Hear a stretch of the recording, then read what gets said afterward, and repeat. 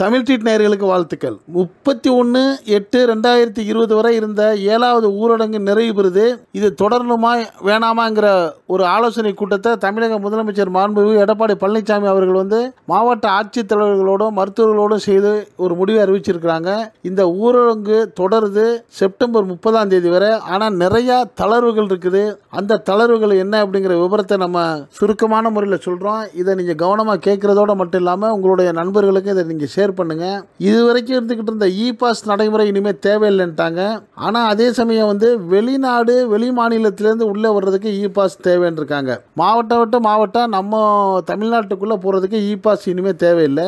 அப்புறம் மத வழிபாட்டு தலங்களுக்கு வந்து கோவில்கள் சர்ச்சுகள் மசூதிகளுக்கு உள்ள வழிபாட்டுக்கு வந்து அனுமதி கொடுத்துருக்குறாங்க. அது மட்டும் இல்லாமல் பொது போக்குவரத்துக்கு அனுமதி. இது வரைக்கும் பஸ் இல்லாமல் இருந்துச்சு. இனிமேல் வந்து அரசு பேருந்துகளும் தனியார் பேருந்துகளும் இயங்கும். அந்த பொது போக்குவரத்துக்கு அனுமதி. அதே மாதிரி செப்டம்பர் ஏழாம் தேதியிலிருந்து சென்னையில் உள்ள பெருநகர மெட்ரோ ரயில் சேவை தொடங்க ஏற்பாடு செய்திருக்காங்க. ஷாப்பிங் மால் ஷோரூம் பெரிய பெரிய கடைகளில் நூறு சதவீத பணியாளர்களோட பணி செய்யலாம்னு சொல்லியிருக்காங்க. அது மட்டும் இல்லாமல் கடைகளை வந்து இரவு எட்டு மணி வரைக்கும் திறந்திருக்கும் அப்படின்னும் ஹோட்டல்கள் வந்து காலை ஆறு டு எட்டு மணி வரைக்கும் திறந்திருக்கும். அதே சமயம் ஹோட்டல்களில் பார்சல் வந்து ஒன்பது மணி வரைக்கும் கொடுக்கலாம்னு சொல்லியிருக்காங்க. தமிழகம் முழுக்க உள்ள தொழிற்சாலைகளில் நூறு சதவீத பணியாளர்களும் இனிமேல் வந்து பணிபுரியலாம்னு சொல்லியிருக்காங்க. ஹோட்டல்கள் ரிசார்ட்டுகள் கேளிக்கை விடுதிகள் கிளப் கிளப்பு இது எல்லாத்துக்குமே அனுமதி கொடுத்துருக்குறாங்க. உடற்பயிற்சி கூடங்களுக்கு அனுமதி கொடுத்துருக்குறாங்க. விளையாட்டு மைதானங்களுக்கு அனுமதி கொடுத்துருக்காங்க. விளையாட்டு மைதான வீரர்கள் போட்டியிடுறவங்க மட்டும்தான் அதில் உள்ளே இருக்கணும். பார்வையாளருக்கு அனுமதி இல்லைன்னு இருக்காங்க அரசு அலுவலகங்கள் பேங்க் போன்ற பெரிய நிறுவனங்களில் நூறு சதவீத பணியாளர்கள் வந்து இனிமேல் வந்து பணிபுரியலாம்னு சொல்லியிருக்காங்க. நீலகிரி கொடைக்கானல் ஏற்காடு இது போன்ற சுற்றுலா ஸ்தலங்களுக்கு வந்து மாவட்ட ஆட்சித்தலைவர்கிட்ட இ பாஸ் வாங்கிட்டு போகணும்னு ஒரு சட்டத்தை சொல்லியிருக்காங்க. சினிமா ஷூட்டிங் வந்து எழுபத்தஞ்சு நபர்கள் வந்து சினிமா ஷூட்டிங்கில் வந்து ஈடுபடலாம் அப்படின்னும். அந்த நடிக்கிறவங்களை தவிர மற்ற டெக்னீஷியனுங்கள்லாம் முகக்கவசத்தோட அரசு காட்டக்கூடிய சட்ட விதிகளுக்கு உட்பட்டு இருக்கணும் அப்படிங்கிறதோட பார்வையாளர்கள் வந்து அனுமதிக்கக்கூடாதுன்னு இருக்காங்க. இதுவரைக்கும் ஞாயிற்றுக்கிழமையில் வந்து வரக்கூடிய ஒரு மாதத்தில் வரக்கூடிய ஞாயிற்றுக்கிழமையிலலாம் வந்து முழு ஊரடங்கு அமுல்படுத்துகிறாங்க அது இனிமேல் கிடையாதுன்னு சொல்லியிருக்கிறாங்க.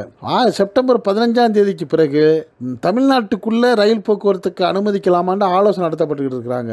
இது தவிர நூற்றி நாற்பத்தி நாலு தடை தொடருங்கிறாங்க.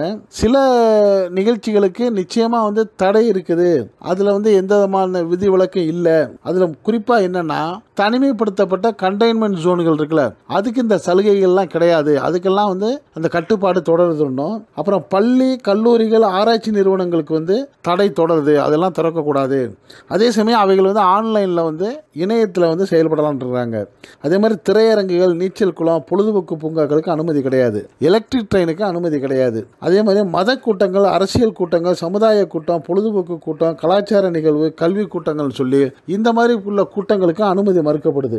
இப்படி சில புதிய தளர்வுகளோடு நமக்கு கொடுக்கப்பட்ட இந்த எட்டாவது ஊரடங்கு வந்து பெரும்பாலும் எல்லாருக்கும் வந்து ஒரு மன நிம்மதியாக இருந்தாலும் அவசியம் ஏற்பட்டால் தான் நம்ம வந்து வெளியில் போகணும். அவசியம் இல்லாத சூழ்நிலையில் நம்ம நாமே வந்து காத்துக்கிறது தான் இது புத்திசாலித்தனங்கிறத எல்லாரும் உணரணும்னு சொல்லி பெரும்பாலான பொதுமக்களும் சமூக ஆர்வலர்களும் கருத்து சொல்கிறாங்க அரசாங்கத்துக்கு என்ன ஒரு க- தர்ம சங்கடமான சூழ்நிலைன்னா நோய் பரவாமையும் கட்டுப்படுத்தணும் நோய் பாதித்தவங்களையும் காப்பாற்றணும் அதே சமயம் மக்களுடைய பொருளாதார வாழ்க்கைக்கும் வந்து ஒரு சுலபமான வழி சொல்லணுங்கிற அந்த மூணு கட்ட சிரமம் இருக்கிறதுனால அவங்களும் நல்லா ஆலோசனை பண்ணி தான் சொல்லியிருக்கிறாங்க. ஆனால் மக்கள் வந்து இந்த தளர்வுகளை வந்து நம்ம தவறாக பயன்படுத்தாமல் இயன்றவரை வீட்டில் இருக்கணும் விழித்து இருக்கணும் விலகி இருக்கணும். அந்த முகக்கவசனம் கிருமி நாசினி இதையெல்லாம் நம்ம வந்து கடைபிடிச்சு நம்ம நாம காப்பாற்றிக்கணுங்கிறதுல மிக கவனம் இருக்கணுங்கிற கருத்தை தான் இந்த தமிழ் யூடியூப் சேனல் மூலியமாக சொல்கிறோம் இந்த செய்தியை நீங்கள் உங்களுடைய நண்பர்களுக்கும் பரவ செய்யுங்க இதே போன்ற அரிய தகவல்கள் தொடர்ந்து வர்றதுக்கு இந்த சப்ஸ்கிரைபில் பெல் ஐக்கானை கிளிக் பண்ணி சப்ஸ்கிரைப் பண்ணுங்கள் என்று இணைந்திருப்போம். நன்றி வாழ்த்துக்கள்.